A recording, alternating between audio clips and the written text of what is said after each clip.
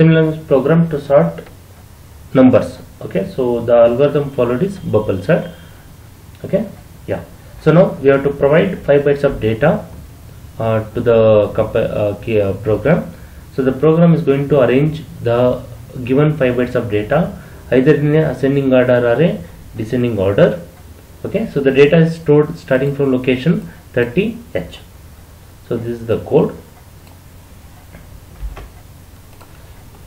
yeah okay fine. So after writing the co- code save the file as filename.asm okay? Attach the source code to the project okay? Check for syntax error okay? So make sure that the errors are zero. The next step is debug start session okay? So now in this code we are uh, uh, we have to store the data starting from location 30h okay? 5 bytes of data okay so select uh, in the internal memory select the location 30h enter 5 bytes of data. So right click on the first location modify memory at 30h enter 5 bytes of data in a random order okay? So let us say okay? So this is our data. So data is stored in a uh, random order okay? So the program is going to arrange the data in the descending order so the next step is debug go and we can see that you know uh, uh, the uh, data stored starting from location 30h the data is now arranged in a descending order okay? So the code works for descending order when we use JNC okay? Uh, JNC in the program okay? So if you want the data to be arranged in the ascending order change JNC to JC okay? There is jump if no carry to jump if carry okay? Change the source code. Whenever you make changes in the source code make sure that you save the file and do the build target okay? Each time you change the source code you have to do the build target. After build target go to the next step is debug start session okay? So location is 30h provide 5 bytes of data separated by comma in a random order okay? So let us take some data okay? So this is our data. So next step is debug run and you can observe that data now uh, are arranged in a what is known as increasing order or ascending order. But why the first location is 0 is because the reason for this is for a descending order what happens is for example okay? So let us say uh, we'll take um, descending order that is JNC build target debug start session.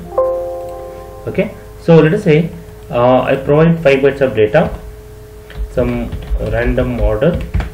Okay? Uh, okay. So I think um, I provided 6 bytes of data. Okay. This what happens in case of uh, uh, descending order is that the data will always be compared with the first data is always compared with the second byte and sorted. And the second byte is compared with the third byte and sorted okay? This continues till the last byte.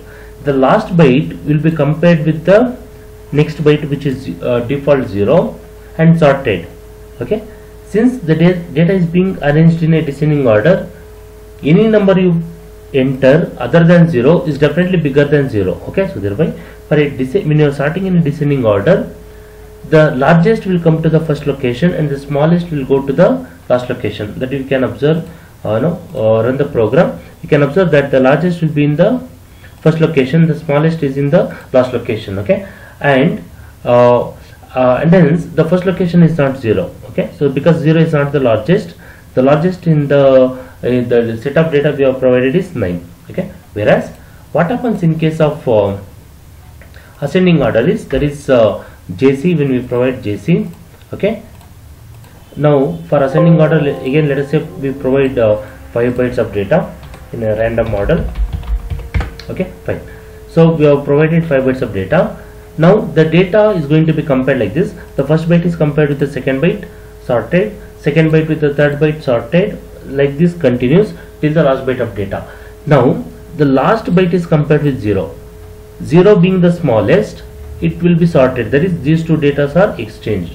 This will continue till all uh, the all the iterations are done at which point the smallest which is 0 in in our case will come to the first location that we can observe now. Debug go. Okay? So and hence when the data is uh, sorted in a ascending order the first location is 0 because that was the smallest data compared with the given set of data.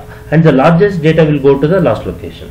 So this is the basic difference between sorting the data in ascending and descending order using bubble sort